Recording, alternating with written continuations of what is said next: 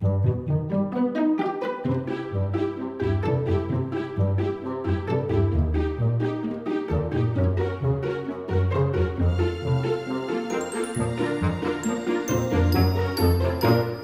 hi. So uh, we are going to have a, a bit of a, a very casual chat. Uh, how many people here have used a programming language that is not like JavaScript or Node?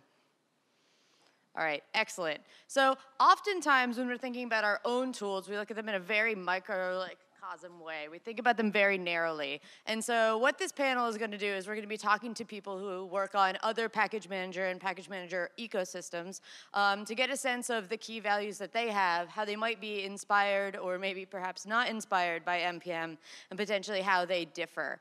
Uh, and so what we're going to do is we're going to start just with uh, some introductions. So if you could just let us know who you are and what you work on.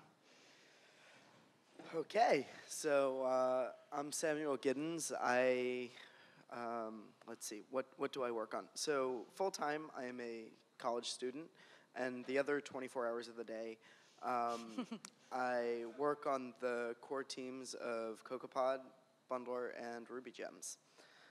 Um, you could say what those are. So those, okay. uh, so what those are, um, CocoaPods is a third-party package and dependency manager for the Cocoa ecosystem, um, so Objective-C and Swift. Um, Ruby Gems is the package manager for Ruby, and Bundler is the dependency manager for Ruby. And uh, I'm currently working on combining those last two uh, so that I don't have to explain the distinction between a package manager and a dependency manager anymore. All right. Cool. Oh, hi. uh, wow, that's loud. Uh, I'm Andre Arko. Um, I'm probably better known as Indirect on all the internet things. Um, and I've been working on Bundler since before 1.0. Um, and I guess I'm now Ruby Gems lead too, so that's cool. Uh, yeah. Hi everyone, I'm Steve. Um, I used to do Ruby stuff, but now I work on the Rust programming language uh, for Mozilla. So I write documentation and do community advocacy. I also maintain the Semver package that Cargo, our package manager, uses, and like work on Cargo a little bit. So, that's why I'm here. Uh, fun fact: Andre and I used to be roommates, so that's pretty cute. Today is full of fun facts. Um, great. So to kind of kick off the conversation, whenever you're creating an ecosystem, you often have some kind of fundamental values, and you have those values because you're trying to solve a very specific problem in a way. And oftentimes those values uh, shine through when you define your problem. So I'd like to hear from all three of you about how is it that you define the problem of package or de perhaps dependency management, and what were the values that you took from that problem definition in creating the ecosystem you work on? So I have the mic, so I guess I'll go first. Pass it back. Uh, so with Cargo, um, one interesting thing about it is that um, we got Cargo built before Rust was actually 1.0, and that seriously informed a lot of the ways that the language actually shaped up. So um, we were able to specifically move a bunch of the libraries out of the core language and into the ecosystem because we had a package manager. So in order to do that, we needed to make sure that Cargo was extremely reliable, so that was really important to us. Um, and then also another thing that's extremely important is that builds are repeatable. So we want to make sure that whenever you download a random package and build it, uh, you get the exact same stuff that other people did, um, ideally down to the same bytes. Like you will get literally the exact same thing all the time. Um, and so that's what's ultimately, everything else is in service of that goal. Like, how can I make a project, give it to you, and then you get the exact same thing? So from there comes out the dependency resolution, how things are laid out on disk, all that other shenanigans. Cool. Um, I guess Ruby and Ruby Gems have a very different story than Cargo, um, which I feel like I should maybe lead with apologies because everyone dealing with Ruby Gems is like having to deal with all of the things that we now recognize were maybe not the best or were okay at the time but are terrible now. And we, it's really hard to change those things later. Um, Ruby Gems as kind of like a Ruby Gems predates everything else here. Uh, it's started in 2003, Uh, and it basically happened because Ruby already existed and there were already hundreds or maybe even thousands of people actively writing Ruby and being like, it's really frustrating that I can't share code. Uh, and so it was kind of like the the easiest, smallest amount of work that would let people share code more easily. And that didn't last very long before it was no longer reliable enough and it had to become less easy. And that's kind of like how we got where we are now. Well, that doesn't work anymore. What can we do that will work? Well, that doesn't work anymore. What can we do that will work? Uh, I guess culminating in now we have lots of servers and whatever sixth generation uh, information about packages and a lot of that actually looks a lot like what npm looks like today. So it's actually really interesting to me that package managers seem to all end up converging on something that's that similar. Um, yeah. So I, I kind of have to give a disclaimer. Um, I did not start any of the projects that I work on. Um, I did not come close to being there at the start.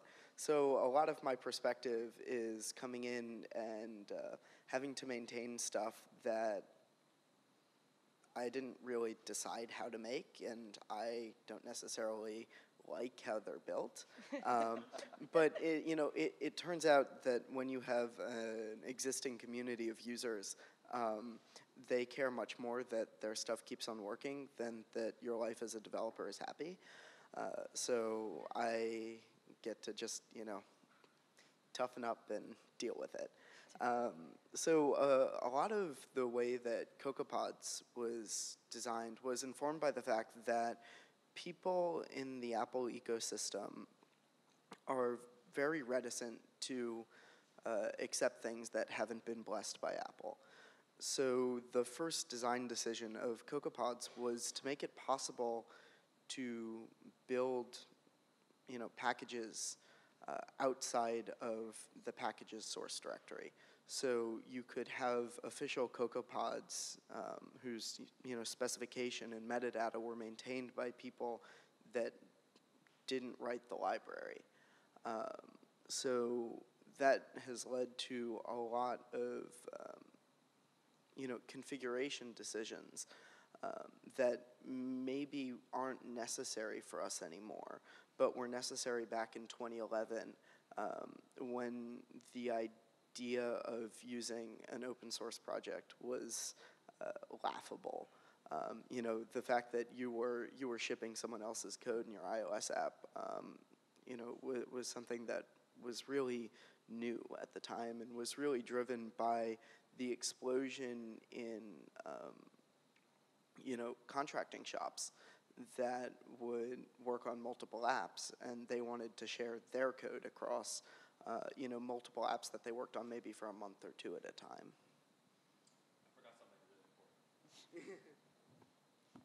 I forgot something really important, which is since Cargo is like extremely new, since Rust is extremely new, um, we were able to learn. Um, so like sort of the opposite of what Andre was saying, that like dealing with the things that you did a long time ago, we were able to learn from those mistakes. But there's also a twist. So Cargo is like largely inspired by Bundler, but also we take a lot of cues from npm and we've learned how like npm improved upon the bundler experience but the twist is since we're a statically ahead of time compiled language some stuff has to be different because of like the language as well so that's also like an extremely important part of understanding how cargo fits into the rest of these kind of projects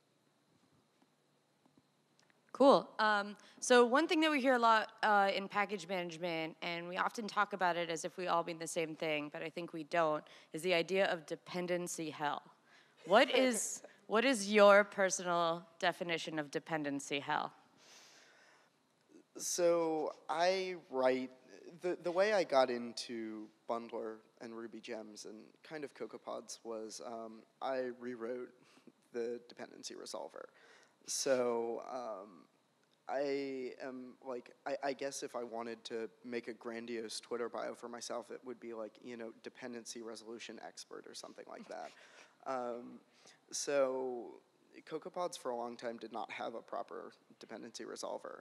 Uh, so you'd oftentimes see error messages come up, and it was basically like, oh, okay. So you as the user have to go in and fix everything.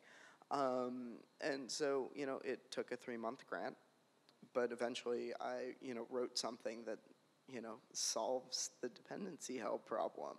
Um, But what is that problem? so wh- what is the problem? Well, it, it kind of depends. Uh, it depends.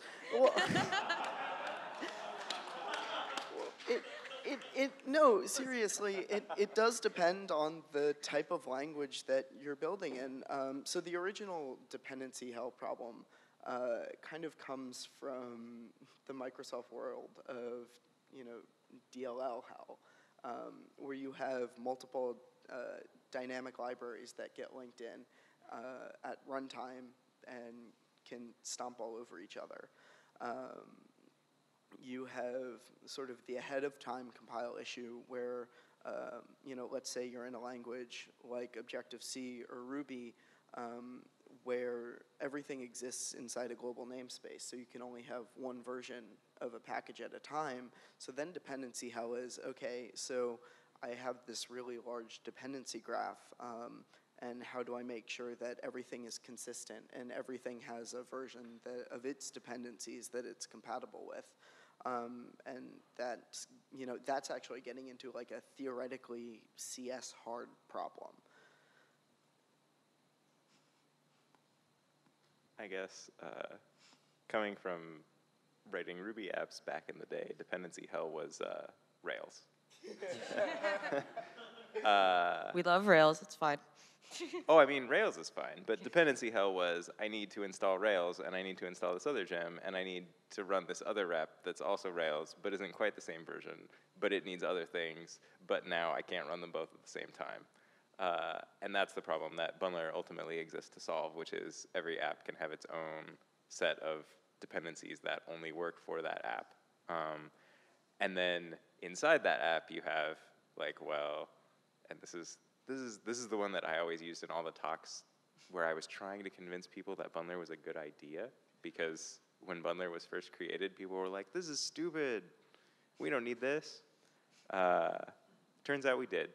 Um, but uh, the the best one was that Rails would depend on ActiveSupport, and which depended on Rack, and then the web server that you use to run your Rails app would also depend on Rack, and they depended on different versions of Rack. And so you would try to boot your Rails app, and it would be like, nope, you can't use two versions of Rack at the same time.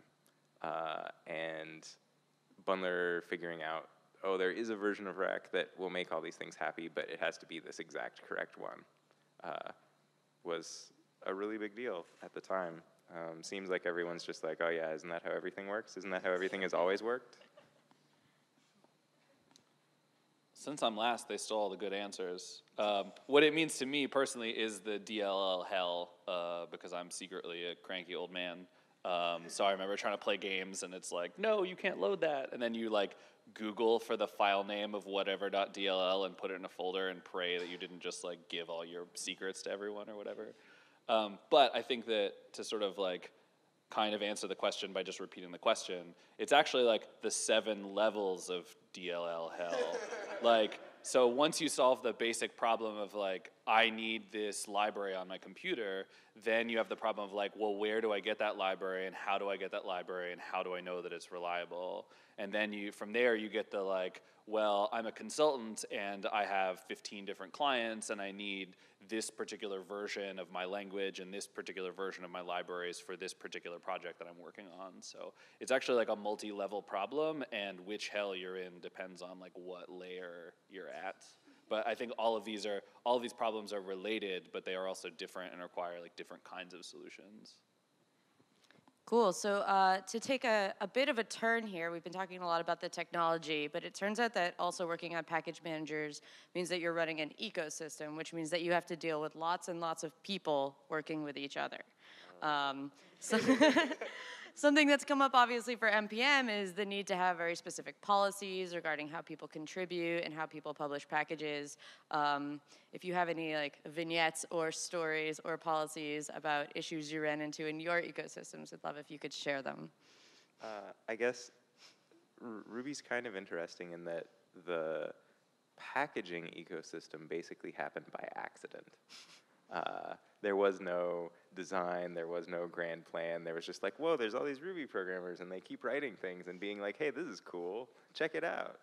Uh, and there was there was genuinely a point in time where the Ruby library ecosystem was the individual personal blogs of everyone who wrote Ruby at the time, being like, "Hey, here's a .rb file. It's got cool stuff in it." um, and and then someone was like, "Hey, we should put links to all these blog posts in a centralized place." And for a while, that was the ecosystem, the Ruby application archive, a bunch of links to blog posts with tar files on them. It was amazing. Uh, and so I guess the Ruby ecosystem has been a very reactive process of like, whoa, something happened. We should maybe do something about that. uh, and so uh, I guess in, in an attempt to learn from other people's mistakes, I guess, as Steve was saying, we're even today like working on a set of official Ruby Gems policies, but like we don't have a cool funded company behind us. So, uh, you know, like we're, we have a couple nonprofits, and so we're like kind of squeaking towards, oh, it would be, it would probably be a good idea if we had a policy around this. What is a good policy? How do we get a lawyer to check this policy? Um, so we're we're getting close, uh, but that's definitely like a a big official thing that that we haven't even finalized yet. I have lots of stories about policies. I'll try to keep it short. Um, so uh, this sort of also ties back into the first question of these policies come out of your principles. So like, what are you actually trying to accomplish? So for example, um, one of the policies that we made with crates.io, which is the website that hosts all the code that Cargo knows how to pull down, um, is that you can never actually delete a particular version of a package. Um, and that was like a decision we made because again, this focus on reliability, uh, we want to make sure that you know people's builds are not going to break. Now, this ties into other policies in interesting ways. So, for example, we also decided that everything is going to be a flat namespace on crates.io, and there is not going to be sub namespaces. And there are various different reasons that we did this, but one of them is that we fundamentally believe that the like quirky names for packages is better than the generic names for packages. So like I think that like iron versus nickel is better for everyone than Steve slash web server and Andre slash web server, for example. Um, so that was a particular policy decision that we made. Um, and another one was what squatting means is extremely hard to define. So if someone takes a particular package name um, and then doesn't do anything with it or doesn't update their code in a while or whatever, we're not going to take it away from them and give it to someone else.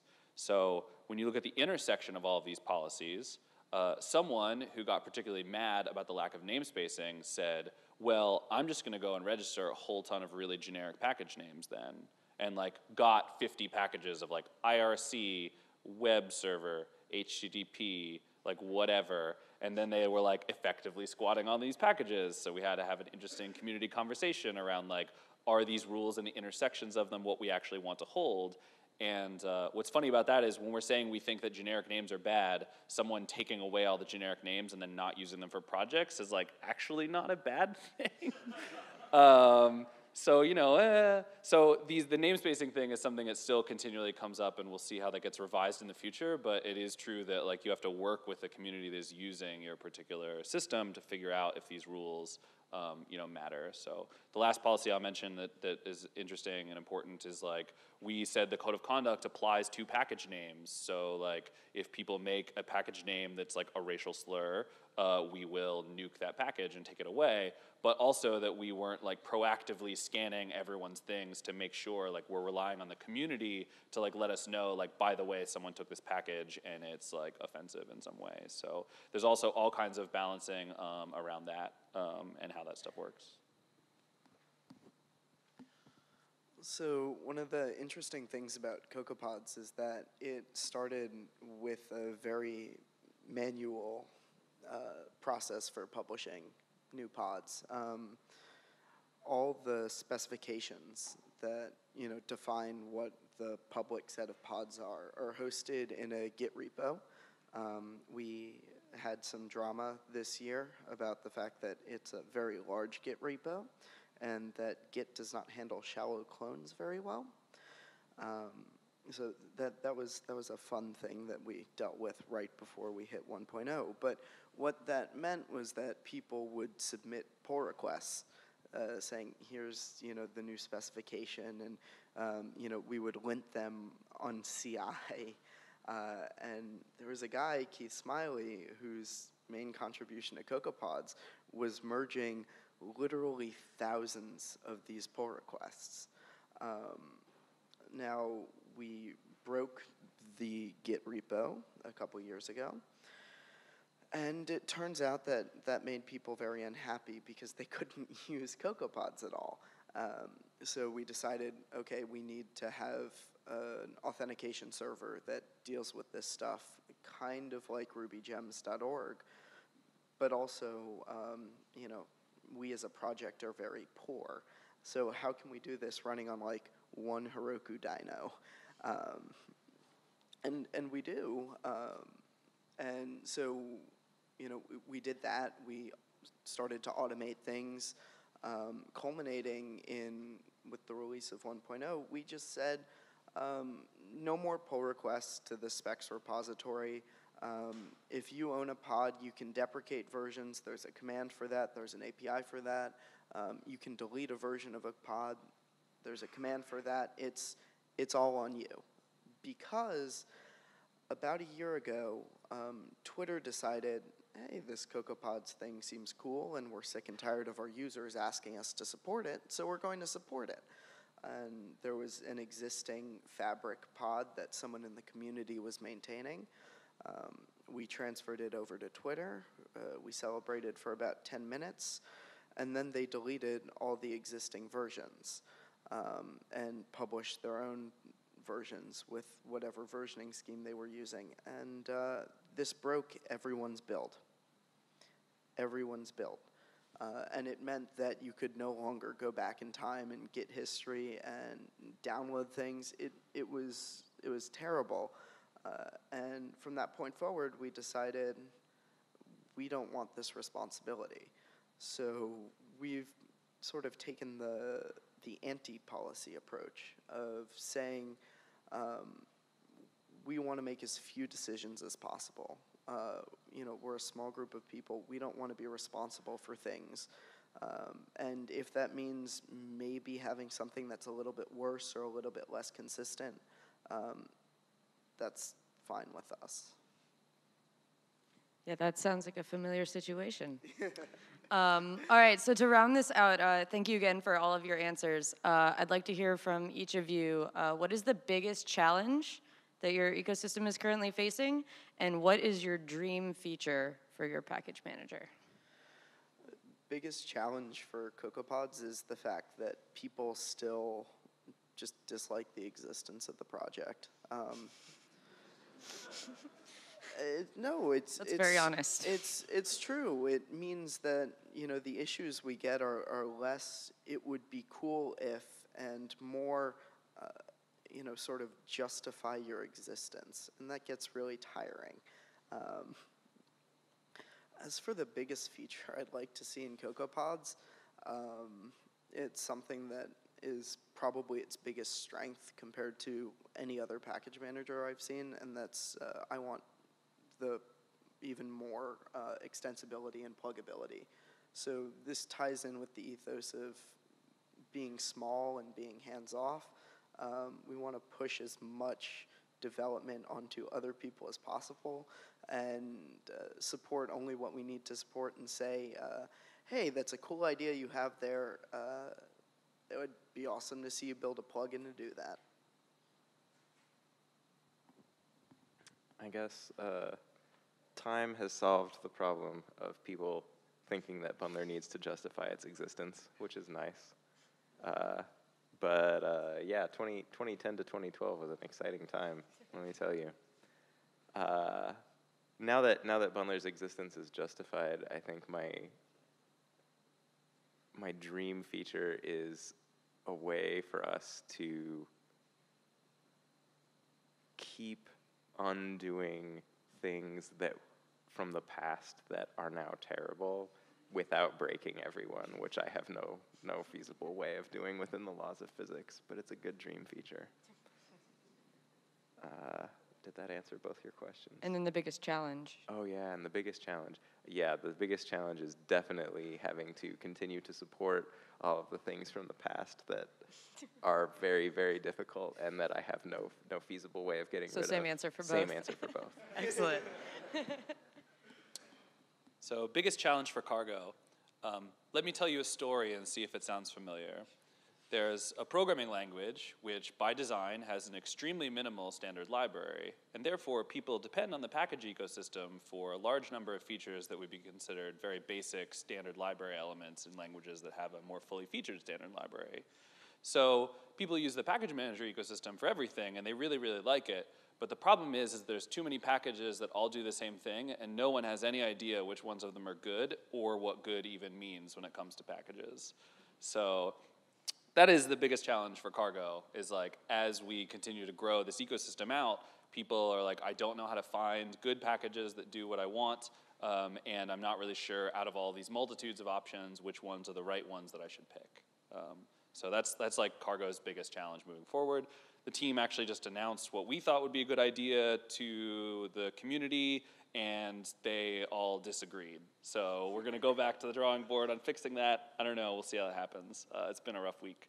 Um, dream feature. So there's a thing. This my dream, unlike breaking the laws of physics, which is a pretty cool dream, uh, actually does exist in the real world, but it's not in cargo yet. So because Rust is a statically typed language, um, one of the things that we can do um, the Elm programming language has already actually implemented this, but I want to bring it to Cargo. So the idea is um, when I say, hey, crates.io, here's a new version of this package, um, it can actually look at all the type signatures of all of the functions and the previous version, and then look at the type signatures of what I'm uploading and the new version and say, hey, you made a breaking change in a type signature, but you did not bump the major version, major version. I'm going to reject this package.